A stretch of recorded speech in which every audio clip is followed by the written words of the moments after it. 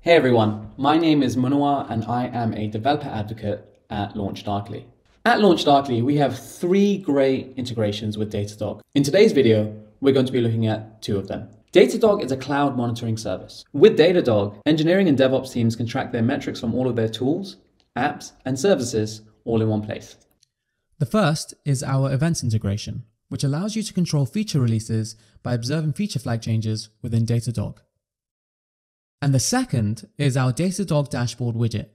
This widget allows you to configure LaunchDarkly feature flags from the Datadog dashboard using our app. So let's jump into Datadog and see what this looks like. Okay, here's the Datadog web app. Let's look at my team's API service dashboard. This graph shows the number of requests it's serving by HTTP status code. As you can see, it's a busy service, and at this time the service looks to be in pretty good health, handling thousands of requests per minute and only emitting a handful of 400 type errors. Nothing to be too worried about. Let's look at our events integration.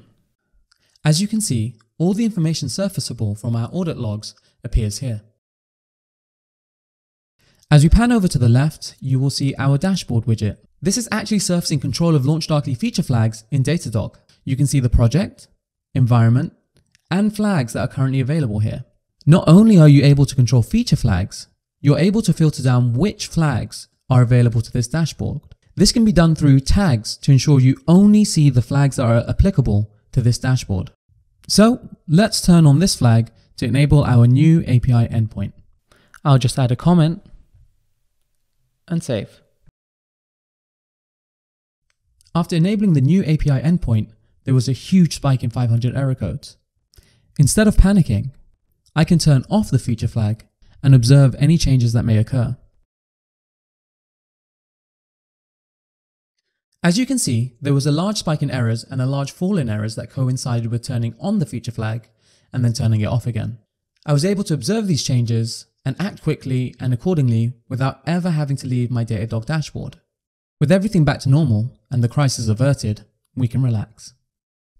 These integrations are super quick to set up and provide you with additional control. We do have one more Datadog integration that I've not covered, flag triggers, and you can learn all about it in this video here. To stay up to date with all things LaunchDarkly, subscribe to the channel.